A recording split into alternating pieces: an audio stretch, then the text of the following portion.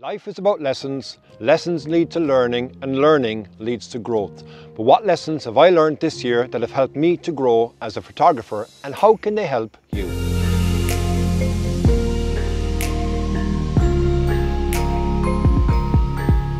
Now, I'm about to head off on a shoot, and it's been a while actually since I've been on a shoot, so I'm really, really excited. But while I'm getting ready to go on this shoot, I want to take you on my annual journey, which is looking back at what happened in the year previous. And this year being 2023 was a very interesting year for many, many reasons. So while I get ready, you can go have a look at that, and I'll check back in afterwards and I'll give you my thoughts overall. Let's go.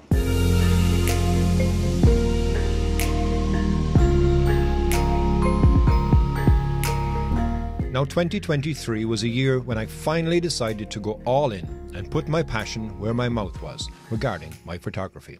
In life, we make our own luck, and either we try something we firmly believe in or we look back in years to come with regret. After over 32 years in management, with many of those at director level in a corporate world, I decided that if I was to ever do it, I should take the opportunities that I'd already created and developed and turn these skills and passion into something that could help others enjoy landscape photography to its max. See if I could go pro and make it a business. I had also been saying for what seemed like forever that I needed to create a website, and when I finally got stuck into it, I found it to be a very rewarding process. Not only because I was finally doing it, but more so for my approach in creating it. I wasn't creating it for me. It was to be a resource for other photographers, and I'm delighted to see that it has become at least that. I enjoy writing my blogs about my adventures, and I also enjoy going back over my images that have been sitting on my hard drive for years and not seeing the light of day, giving them now a purpose. What it also showed me is that I had indeed some nice shots that deserved to be seen more than a flash on a random social screen on somebody's phone. I would highly recommend doing this for yourself not only to go over your photos from before, but also to see just how much you've improved over the years. It doesn't need to be a website creation to prompt this, it can be something that you do regardless and can be highly rewarding.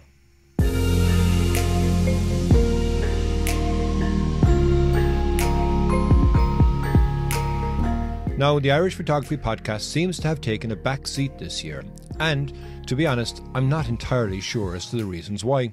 It might be because doing them on my own isn't something that I want to subject my listeners to.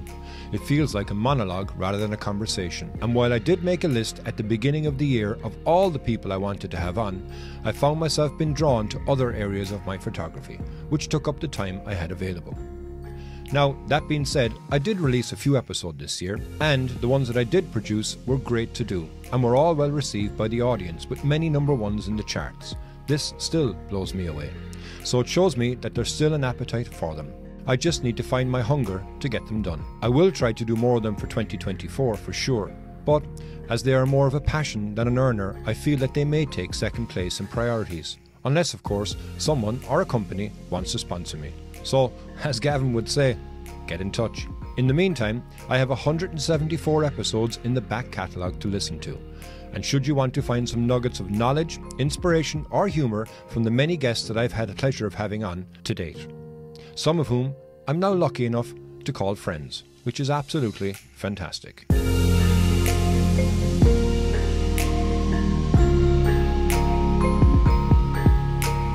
One of the things I really have found myself enjoying quite a lot is the writing process, and I'm very proud of what I've accomplished in 2023. My eight photography location guides have been very well received and fills me with pride when I get messages from people who have found locations, taken shots, or made them part of their own photographic journeys. This is what drives me and is what I hope will continue to drive me and others for many years to come. In addition to writing these guides, I also finally put pen to paper, well, virtually anyway, on an idea for learning that I've had for many years, during my corporate life in fact, the idea of making learning as easy as possible, as simple as ABC. This concept has also been very well received, which excites me for what's to come in 2024. Now, finally, I also joined the team at Fstoppers halfway through the year as a staff writer, and I found this to not only be a very rewarding outlet in terms of sharing my voice and learnings, but also a challenge in how to come up with relevant topics that aren't only revolving around gear. Yes, gear is important for sure, but for me, photography is more about the feelings that it can give you. the memories it creates, and the lessons we learn that can help us in our real lives. This has been my approach for my writing with Fstoppers, with many articles featuring on the main feed as a result. Now, the team at Fstoppers have been great, and I found myself being welcomed into the fray very quickly. The feedback from the community has been excellent, and the team at Fstoppers, the support has been excellent.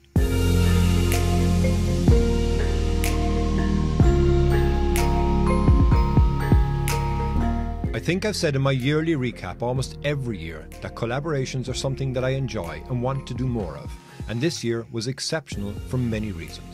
I got to team up with some of the best in the business and also had the pleasure of hosting them right here in Ireland. When Gavin let me know he was finally going to come visit, I was not only excited to meet him, but also excited to show him the stunning landscapes that we have here in Ireland. Plus, he was extremely helpful and supportive to me personally regarding trying to get on in this YouTube photography world.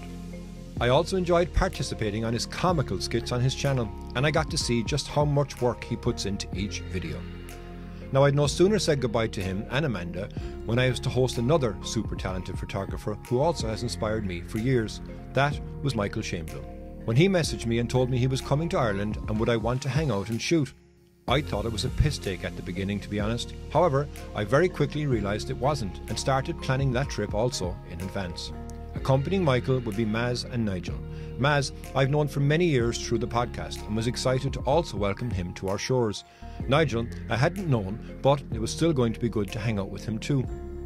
Now, these couple of weeks were non stop, going from Gavin to one to ones and then onto the group. And by the time it was over, I was not only feeling energized, but also drained. But the experience of it kept me going and I thoroughly enjoyed it. It was also perfect regarding the conditions we got for all of those trips with that now infamous Storm Agnes gracing our shores to show just how wild the Atlantic can be. I'm looking forward now to see what we can do together in the future. And who knows, perhaps a trip to their territory might be on the cards, or indeed return trips here for some workshops or something else. So stay tuned to see. I also welcome quite a lot of new subscribers to the channel from these collaborations, and if you are one of those, thank you for joining me. It's great to have you here.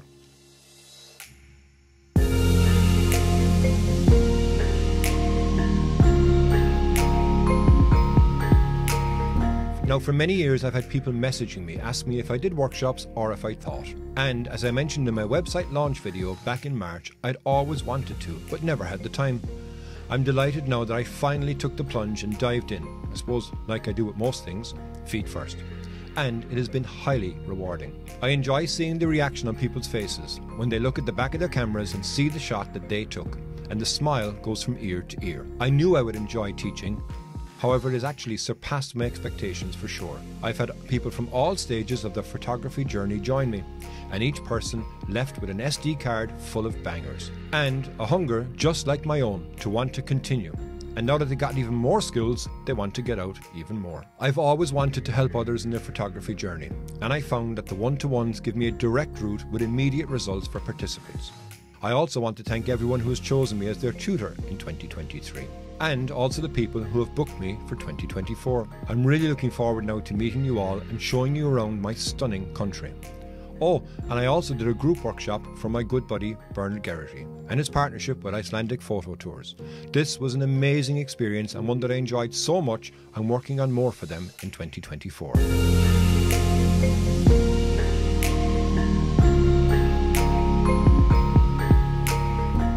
This year saw me welcome a new addition to my channel in the form of a big but very nimble red camper van.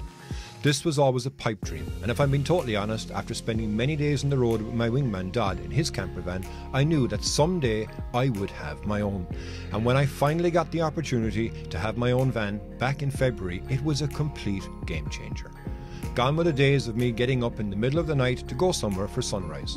I could now travel the night before, set up and just roll out of the van in the morning and be ready to shoot that sunrise.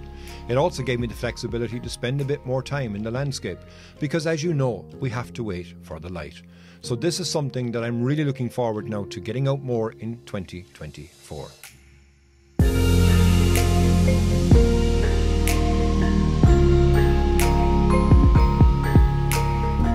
Now, I've always said on this channel in every single yearly recap, it seems I always say that there's no such thing as bad conditions in landscape photography. There's always a shot. And granted, it may not be a banger, but it will be a shot. And during 2023, I had my fair share of bad conditions, but I didn't let it stop me, and I would encourage you to not let it stop you either. Whether you get good light, mediocre light, or even bad light, you can still get a shot. And even if you're not happy with those shots, you've at least had the opportunity to scout a location for when that light does arrive.